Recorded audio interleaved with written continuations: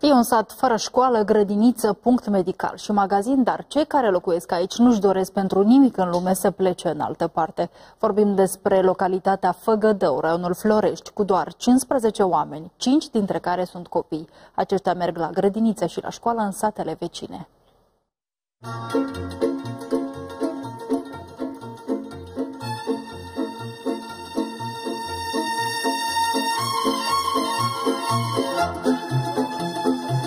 M-am gândit niciodată. Eu de la oraș am venit la țară.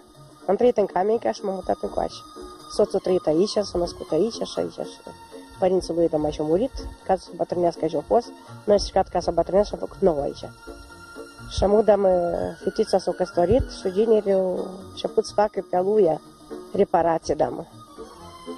Și facem așa încet și oricum putem. Natalia Mișcoi are 84 de ani și este săteanca cea mai în vârstă. Eu am rămas mai mare decât tot. Chiar dacă a avut o viață plină de greutăți, femeia n-a avut niciodată gândul de a pleca din sat. Are departe.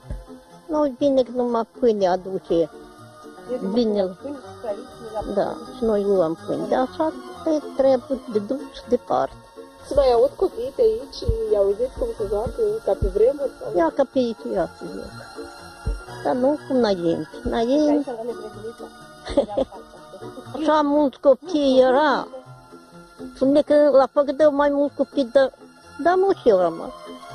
Patru, ori cinci copii, știu de școală, grădiniță, punct medical sau magazin, nici vorbă. Vara localnicii merg cu ziua în satele vecine, la strâns fructe și legume de sezon, iar iarna l-a curățat livada. 200 de lei pe care îi câștigă zilnic abia de le ajunge să plătească facturile. Nu hodăm de pe magazin de lucru. Unde mai este aici de lucru, de exemplu? Unde mai lucrează oamenii? Și la... Și două, două la cățoache, așa să spun. Dar ce fac acolo? La hepșuni, la mieri. Asta în perioada caldă. Da, la da, da. nu prea este de lucru. Iarna la curățat Ioan. Cam câte într-o zi câștigă sătenii? Cât cât câștig? Câștig la 200 de lei. Da, ajunge acești bani atât? E, dar nu erau. Nu e ce faci, nu știu. Alina are 40 de ani și spune că n-a fost niciodată în Chișinău. Chiar de ar fi în altă parte mai bine, n-ar pleca de aici niciodată, spune femeia. Pădurea e aproape, aer curat, vecinii sunt normal, nu sunt gălăgioși, nu sunt... Nu avem probleme. Nu v-ați gândit niciodată să plecați din sat de aici?